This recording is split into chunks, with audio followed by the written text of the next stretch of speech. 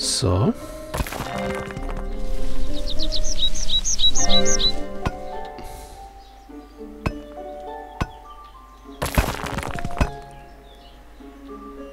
Oh, und hier wäre Gold. Hm. Hm. Ah ja, aber ist kein Problem. Da können wir dann auch so einen Block reinbauen.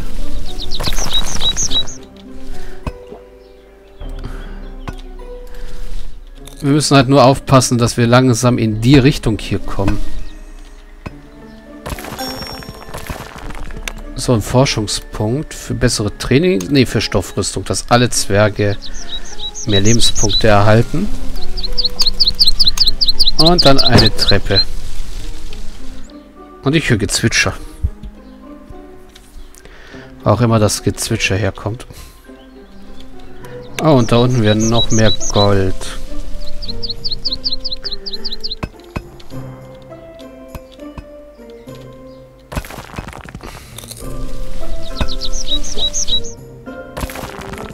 Da wäre auch mehr Gold übrigens. Also ja, das können wir alles mit Steinblöcken zumachen. Das ist kein Problem. Äh, mit Holzblöcken.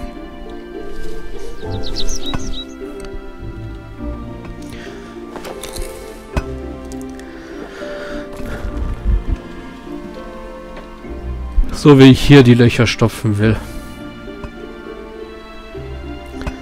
So, du bist am Forschen. Unsere Beliebtheit ist gerade so. Okay. Es wird eigentlich Zeit, dass ich einen zweiten Arbeiter rufe.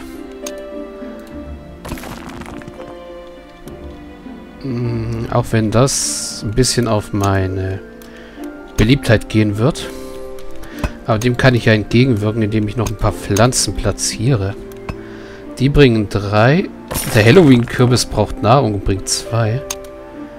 Festtags... Die Festtagsgirlande? Nein. Hm. Blattpflanze. Platzieren wir mal hier Blattpflanzen. Fürs Erste nachher stellen wir die um und platzieren da Eisenrüstungen. Sobald wir es können.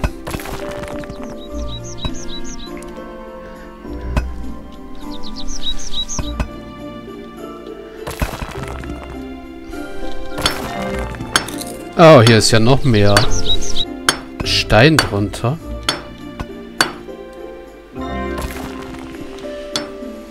Okay, wir haben noch einen Jungzwerg. Unsere Beliebtheit hält allerdings.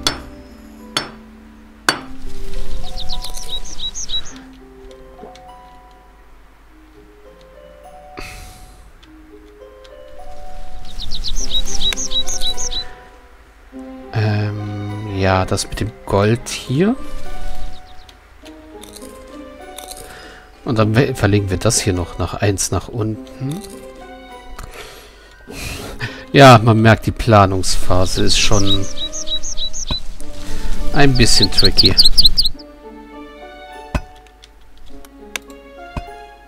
Was wir machen können, ist theoretisch hier noch frei buddeln, weil in den Raum kommen wir noch nicht rein.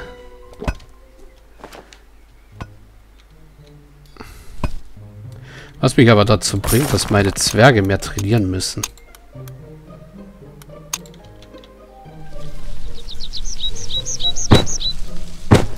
So, hier unten können sie ja trainieren.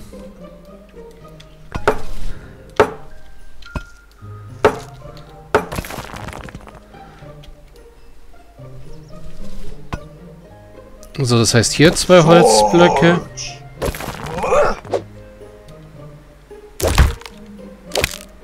Später, wenn wir genug Holz haben, natürlich. Im Augenblick brauchen wir das Holz ja dringender.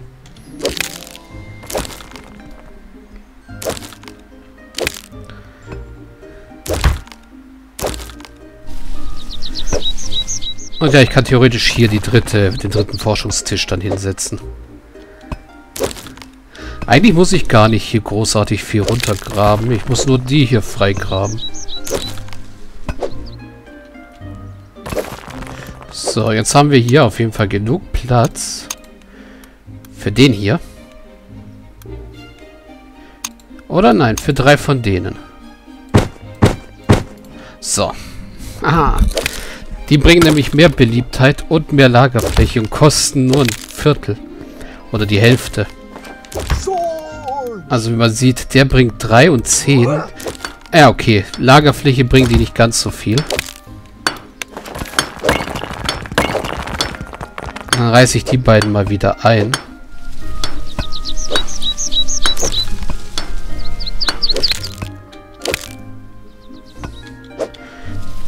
warte daraus, dass, darauf, dass der restliche Stein abgebaut wird und baue dann da eine große hin. Bei Lagerfläche brauchen wir auf jeden Fall auch sehr, sehr viel.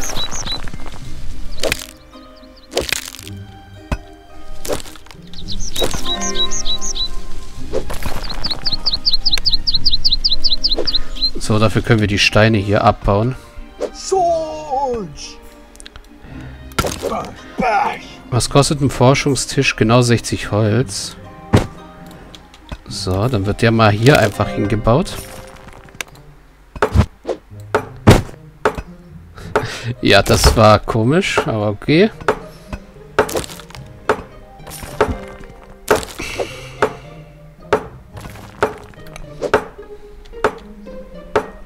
Bei Turmalin haben wir auf jeden Fall genug.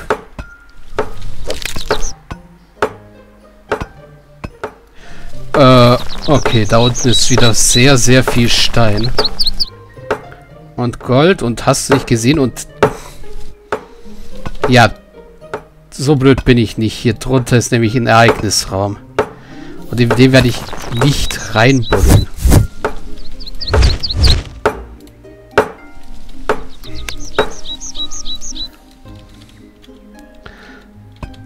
So, jetzt haben wir genug Stein für den Schrank, den ich bauen wollte. Genau, den da nämlich.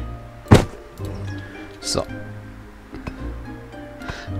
Dann irgendwann die Betten austauschen. Dafür brauchen wir aber wieder mehr Gold und mehr... Hast du nicht gesehen?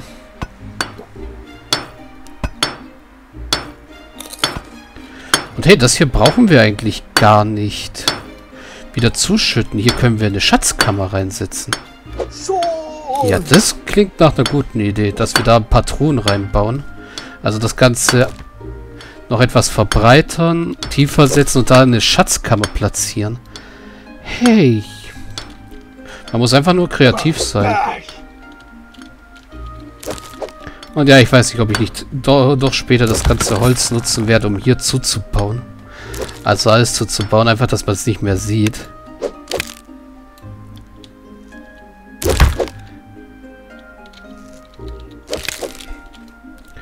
Also ja.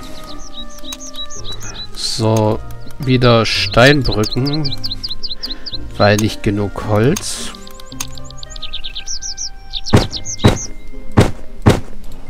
So. Dann können da die Fackeln wieder hin. Und der Thron. Und ich kann schon mal anfangen, wenigstens das auszukleiden, was auskleidbar ist.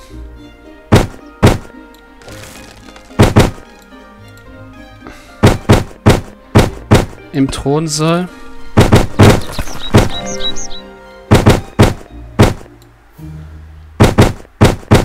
So. Die Wand fehlt noch, die Wand. Die beiden Wände. Das war der falsche Gegenstand. Ich wollte hier den, die Fackel nämlich hinmachen. Jawohl. Ich glaube, den Block hier, den Block hier setze ich auf jeden Fall als erstes.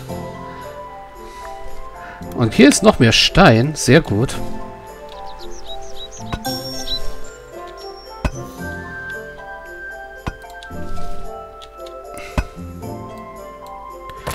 So, dann höhlen wir hier ordentlich aus und dann kommt hier eine Schatzkammer hin. Ruhig noch ein Feld nach hinten. So. Mich interessiert eh, wie weit es noch in die Richtung geht, bevor und wir wieder auf Undigi umstoßen.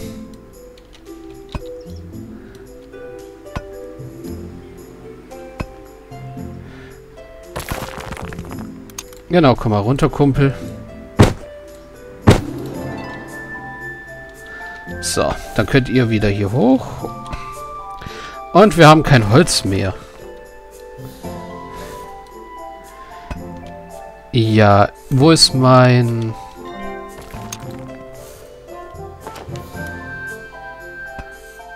Jungzwerg. Da ist mein Jungzwerg. Du wirst jetzt ein Arbeiter. Weil jetzt brauchen wir wirklich die Arbeiter, um hier vorwärts zu kommen. Oh, und hier ist schon Undigium. Aber macht ja nichts. Wir haben jetzt mehr als genug Platz für Truhen. Hier. Das heißt, hier wird auch alles mit Stein ausge... Oh. Äh, ja. Besseres Militär. Wir haben noch kein Eisen, also würde ich erstmal in Richtung von den Laufschuhen gehen. So, okay.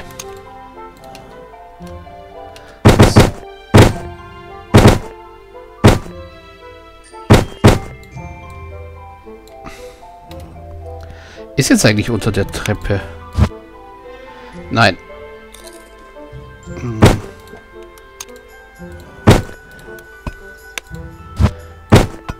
Auch die Wand hinter der Treppe stimmt noch nicht so.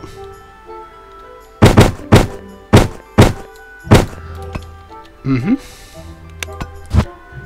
Unter der ist. Unter der ist noch nicht.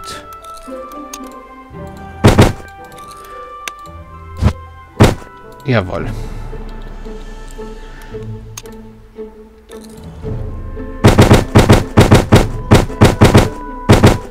Und Schatzkammer fertig.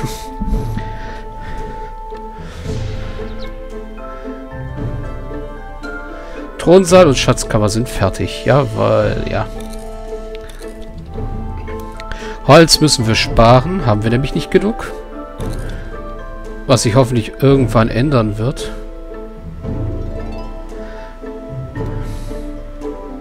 Oh, wir können... Ich habe nur drei Holzpflanzen, fällt mir so auf.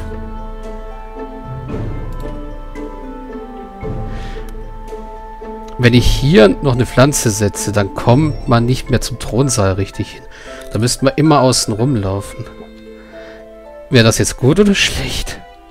Wenn ich hier eine Pflanze hinsetze, dann kommt man nicht mehr zu der Pflanze da.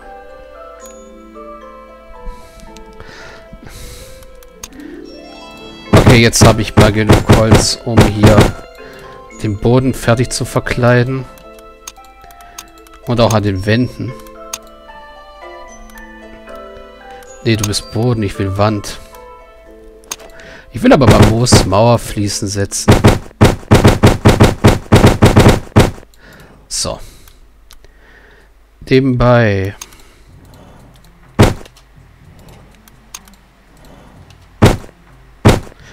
Ja, so ist das richtig.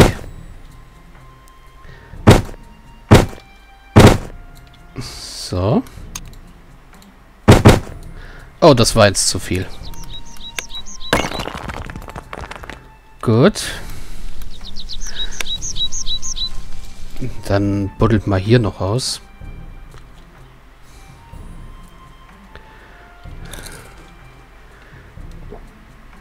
Und dann brauche ich wieder mehr Holz für... Ja, für weitere Trainingspuppen. Ich will die nämlich erstmal auf ein schönes Level bringen, bevor wir uns da reinbuddeln. Also mit einem Durchgang da rein, den Raum. Clearen.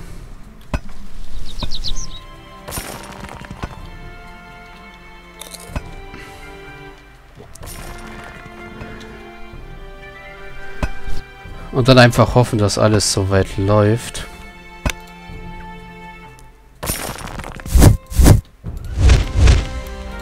So, wieder wie immer Steinbrücken.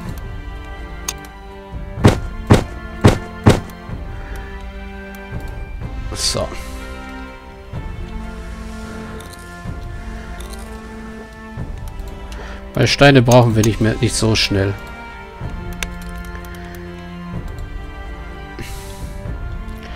Gut, ich würde sagen, wenn ich jetzt so auf meine Uhr gucke, ist es mal wieder Zeit für einen Cut.